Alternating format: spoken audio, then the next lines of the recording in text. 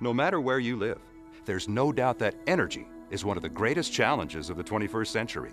Scientists, engineers, and entrepreneurs around the world are working on solutions to increase energy efficiency and slow the growth of greenhouse gases. At the same time, we must meet the increasing energy demands of a growing population, especially our largest cities. We need sustainable solutions that will work on a large scale, and we need them today. What if there were a proven energy technology that could help us be more energy efficient right now, not years from now? What if there were an energy technology that could increase energy security right now, not years from now? What if there were an energy technology that could serve as vital infrastructure for cities, campuses, and communities, and provide high quality jobs today, not years from now? Well, there is such a technology, and it's already here. It's called district energy. District energy is all around us, operating in cities from New York to Paris, from Dubai to Copenhagen. Landmark buildings like the U.S. Capitol, the Kremlin, and the Louvre get their heating or cooling from a district energy system. Around the globe, most major cities and college campuses are served by district energy. Even world-famous medical centers such as the Mayo Clinic and the Texas Medical Center depend on district energy. Why? Because of its compelling economics and outstanding reliability. Available round the clock from qualified energy professionals. Maybe you haven't heard much about district energy. That's because it's been quietly doing its job, keeping people comfortable and conserving energy for decades. In some places, for more than a century.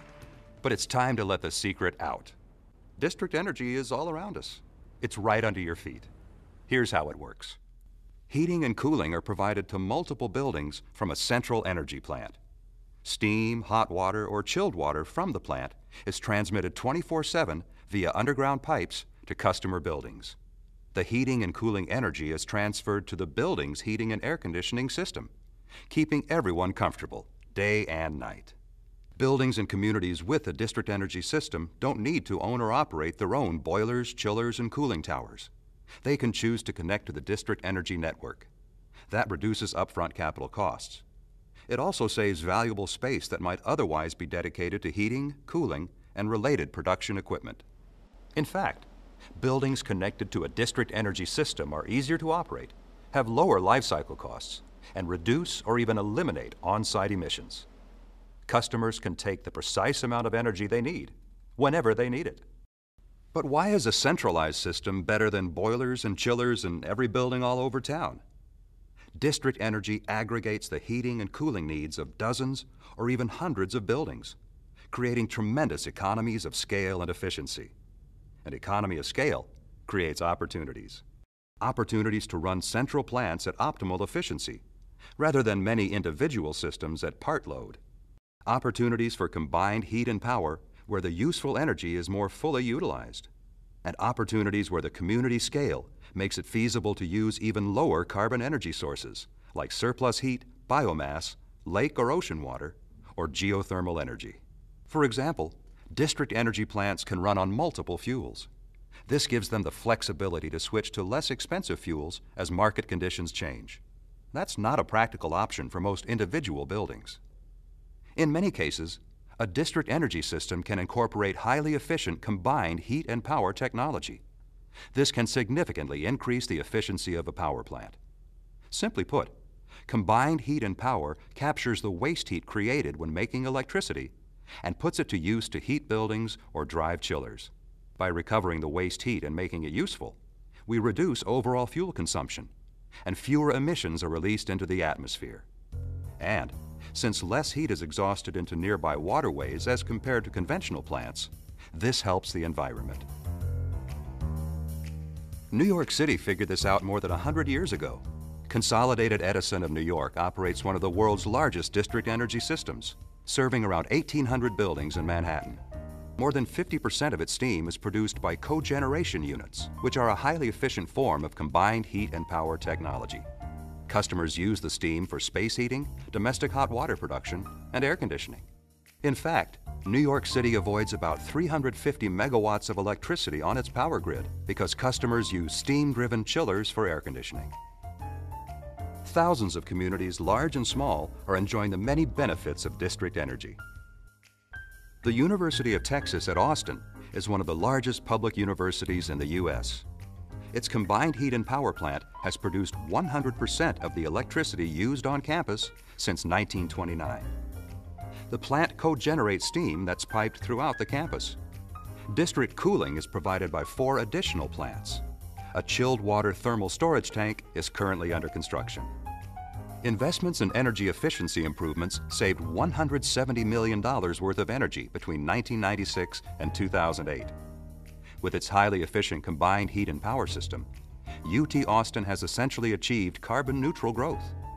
Additional projects slated for completion in 2010 will return the campus to 1977 fuel consumption and emissions levels, even though the campus has added 7 million square feet of building space. District Energy St. Paul operates a combined heat and power facility where 70% of the annual fuel is supplied by municipal wood residue using wood residue that would otherwise be piling up in local landfills has helped stabilize fuel costs and reduce carbon dioxide emissions by 280,000 tons a year. The district heating and cooling systems serve most of the downtown buildings, and 25 megawatts of electricity is supplied to the local grid. The district cooling system makes chilled water at night when electric rates are low and stores it in large tanks until needed by customers. Northwind Phoenix a subsidiary of APS Energy Services, serves buildings in downtown Phoenix. One of the company's first district cooling customers was Chase Field, home to the Arizona Diamondbacks. In 2001, Northwind Phoenix built an ice-based thermal storage plant adjacent to the stadium, and in 2006 added more ice storage at a new plant inside the Phoenix Convention Center. On average, customers report a 13% drop in energy use following their connection to district cooling. District cooling systems reduce electric demand during peak periods and can help lower energy consumption overall. By replacing on-site chillers with district cooling service, customers can level out their electricity demand. This reduces the strain on the grid, cuts emissions, and reduces the need for costly new power plants. Around the world, you'll find district energy systems at the center of innovation. Solar district heating in Denmark and Sweden, Deep Lake Water District cooling in Toronto, combined heat and power fueled by oat hulls at the University of Iowa, geothermal-based district heating in Turkey, combined heat and power fueled by landfill gas at UCLA. The list goes on. These are all different solutions, but none of them would be feasible without a district energy system that combines the energy needs of multiple buildings and has the scale to make these innovations possible. Just think about the thousands of district energy systems that are already saving energy and helping the environment. What if even more district energy systems could be constructed, cutting energy consumption and reducing the carbon footprint for the world's fast-growing cities? What if we could help existing district energy systems expand or invest in combined heat and power, biomass, geothermal, and other clean technologies to help make the power grid even stronger and smarter. What if we could use district energy infrastructure to utilize local energy resources, create quality jobs, and keep energy dollars recirculating in local economies? What if we could do this right now, today? We can do all of this and more. District energy is the foundation for a smart, sustainable energy future. Let's take control of that future by investing in district energy tomorrow's energy today.